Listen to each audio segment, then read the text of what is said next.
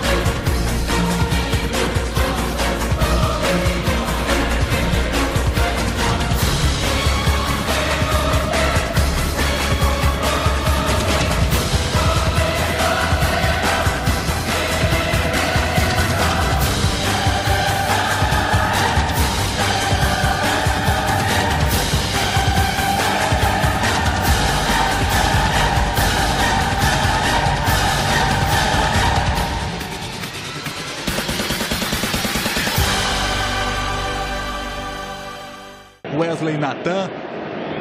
Vai para dividida ali o Brian, acabou perdendo. Hudson já abre na esquerda.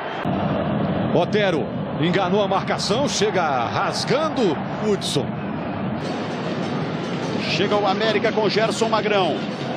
Ficou na marcação do Hudson.